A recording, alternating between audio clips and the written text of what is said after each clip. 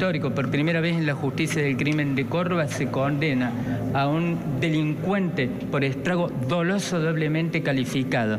Por el resultado mortal de María Angélica Cueto, la mujer de 65 años que murió no esquiando, tampoco en una carrera automovilística, sino aplastada por un portón que eh, fijaba la entrada de un taller de chapa y pintura por el riesgo de vida. Pablito Amaya, un condenado a convivir con secuelas irreparables el resto de su vida, parcialmente satisfecho.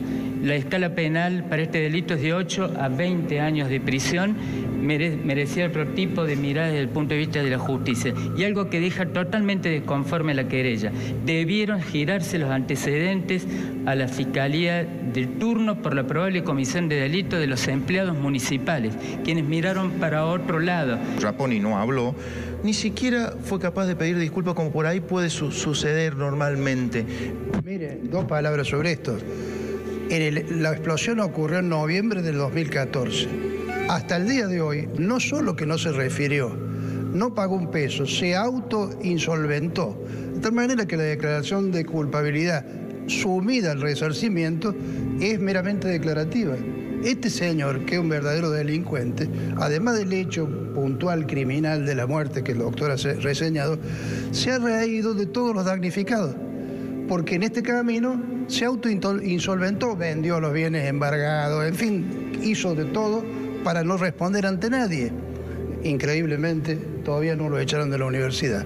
Ya 10 y bueno, eh, deja una sensación, de cierta manera, de disgusto, así ambivalente. Eh, si bien se ha declarado insolvente, eh, estamos persiguiendo propiedades que puedan tener para lograr a, cobrar esa, esa suma para mis representados, porque realmente están en una casa inhabitable. ¿Ahí en el mismo barrio? En el mismo barrio, a 50 metros de la Química Japón.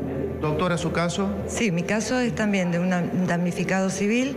La casa era colindante a la fábrica Raponi, el señor eh, Laza.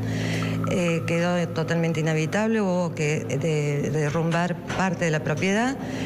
Eh, y nos hicieron, nos hicieron lugar también parcialmente la demanda, cercando un total de 8 millones de pesos. ¿Verdaderamente tiene esperanza de que algún día se cobre, doctora? Quiero creer que sí.